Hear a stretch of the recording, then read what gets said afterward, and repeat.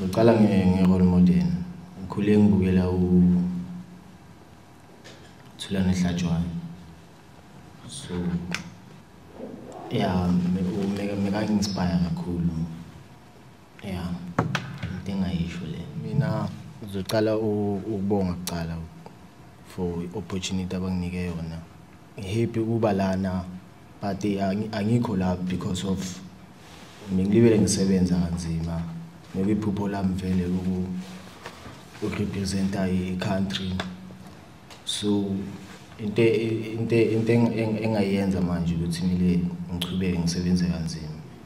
Ucabanga ukuthi yini esisize kakhulu ukuthi usheshe ube kule position kuyona eh especially uma ubheka from beginning of the season udlala nonda uh, competing i think you've played almost all the matches the pirates so far um ngicabanga ukuthi yini esheshe yawenza ukuthi ube la eh ngicabanga ukuthi ukumamela ama-teammate phela and uzitshela ukuthi usebenza kanzima cause akukho easy vele ukuthi bakuselect la. So into engayisho ukuthi ngisebenze kanzima ukuthi ngibe lana.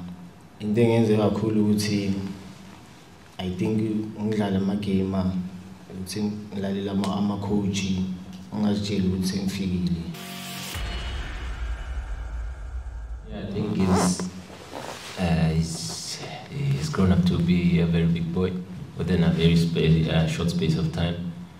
And uh, for him, uh, he, he's, a, he, he's, a good, he's a good guy.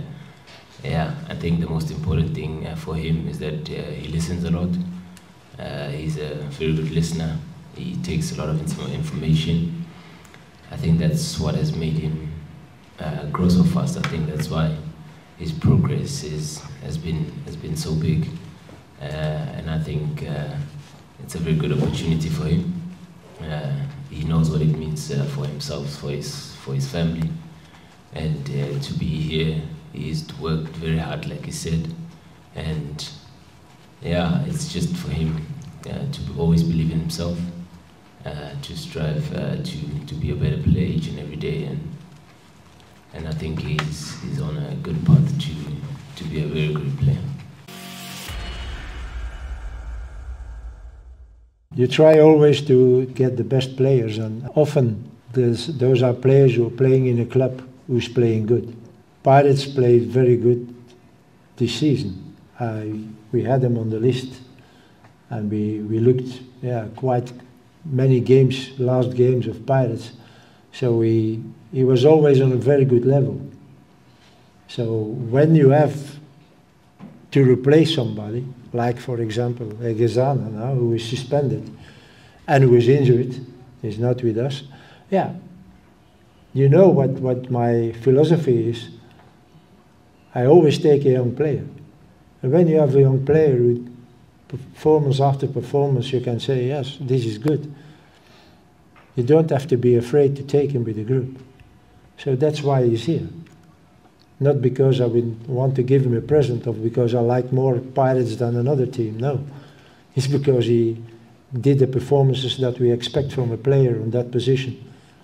So it's up to him now.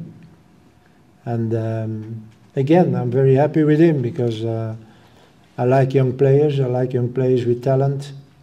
And uh, he got his first selection now with the national team. So I hope for him that uh, it will not be the last.